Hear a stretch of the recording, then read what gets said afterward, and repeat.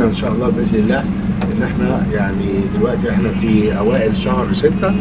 إن شاء الله اعتبارا من آه، آه، آخر شهر سبعة اللي جاي يعني بعد شهر و50 يوم هنبدأ ندخل الخدمة عربيات نقل عام آه، كبيرة جديدة سكانيا جاية من السويد. أو في عقد جديد اللي هو 150 أتوبيس هنبدأ ندخل الخدمة حوالي 30 أو 40 أتوبيس اسبوعيا خلال يعني النص الأخير من شهر يوليو القادم إن شاء الله بإذن الله. طبعا حد يقول لي هل إحنا كده حلينا مشكله النقل في القاهرة؟ النقل العام في القاهرة أقول لا القاهرة محتاجة أكثر من 5 6000 أتوبيس جديد ولكن هنا طبعا بنوقع عقود كتيرة جدا زي ما أنتم شايفين عشان نخدم محافظة القاهرة فماشيين كده على خطوات. وإن شاء الله دايما الخدمة تتحسن. الحل الوحيد العملي لمشاكل المرور في القاهرة هو إن الناس تترك السيارة الخاصة وتستخدم وسائل النقل العام سواء آه، الاتوبيسات نقل عام أو خطوط المترو.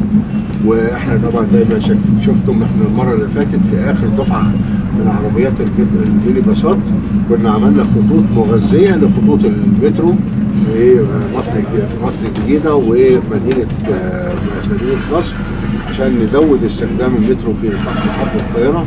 وأدخلنا لأول مرة تذاكر موحدة ما بين خطوط المترو وخطوط خطوط ال- الميني باص برضه أقول لكم حاجة جديدة.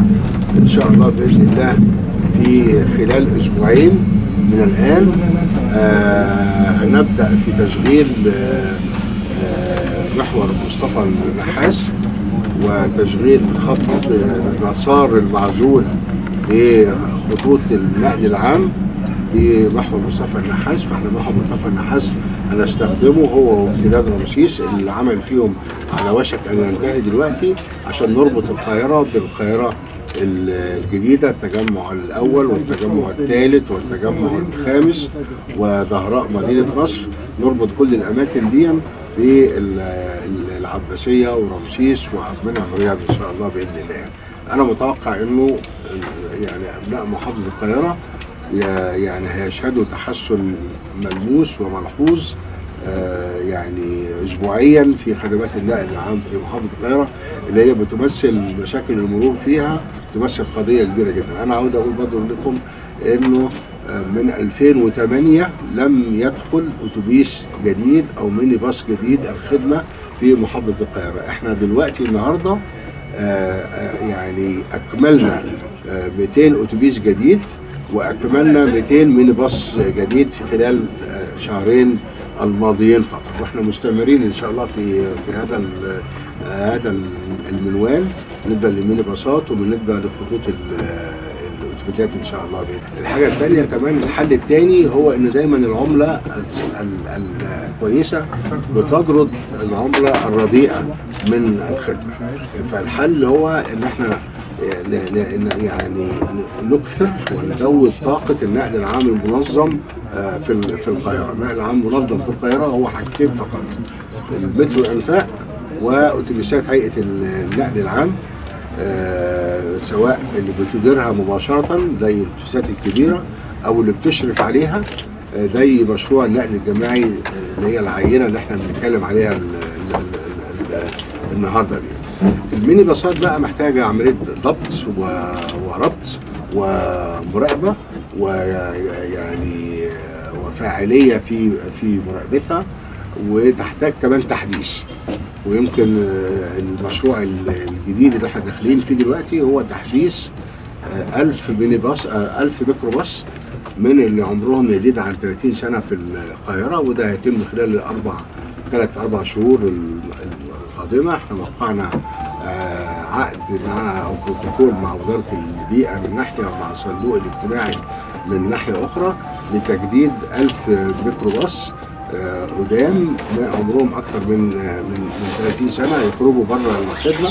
يعني شرط العملية دي إن الميني باص القديم لابد أن يسلم ويخرج بره الخدمة ويحل محله ميني باص ميكروباص آه، جديد.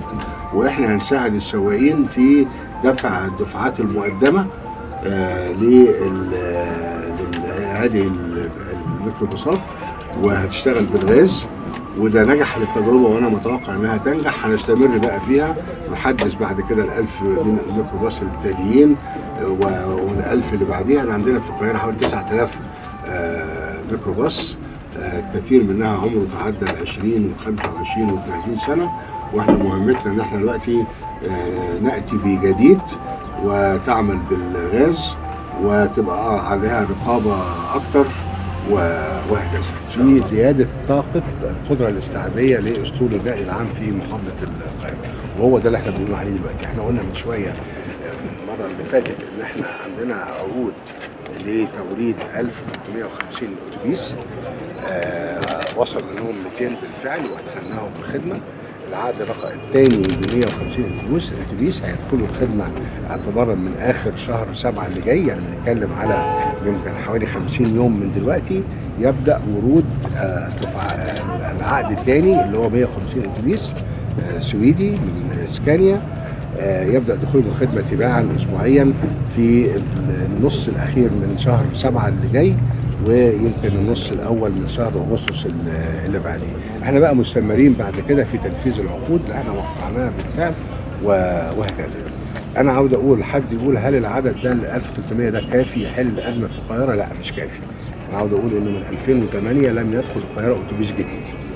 ف وإحنا نجحنا خلال الحكومة نجحت خلال الثلاث أربع شهور الماضية فقط من ضمن الخطة العاجلة ومن ضمن الخطة الاستثمارية للدولة انها تتعاقد الأعداد الكبيرة اللي أنا بتكلم عليها دي. لكن القاهره تحتاج حوالي 4000 إلى 5000 أتوبيس إضافية.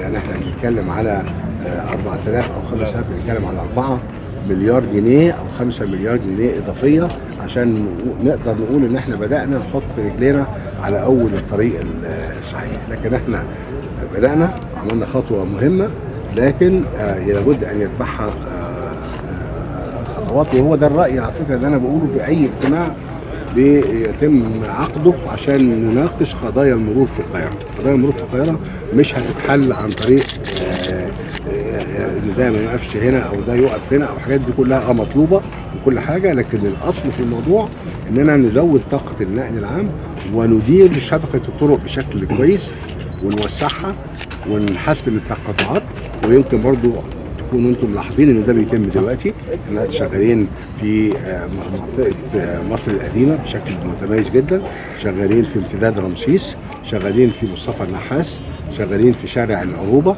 آه، بمعاونة الجيش تم تطوير كل مداخل ال- ال- القاهرة.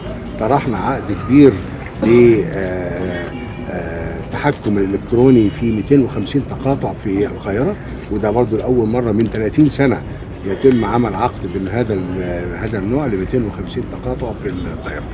فيعني إحنا يعني اعتقد ان إحنا ماشيين على الطريق الصحيح ومشاكل المرور في القاهرة آه، أنا متخيل إن هي يعني سوف تتحسن تدريجيا كلما حسنا إحنا من شبكة الطرق حسنا من مداخل القاهرة حسنا من إدارة التقاطعات حسنا من آه، الحزم في تطبيق القانون وزودنا سعة وسائل النقل العام المنظم سواء من قبل الهيئه القومية لمتع الانفاق أو من قبل الله خير.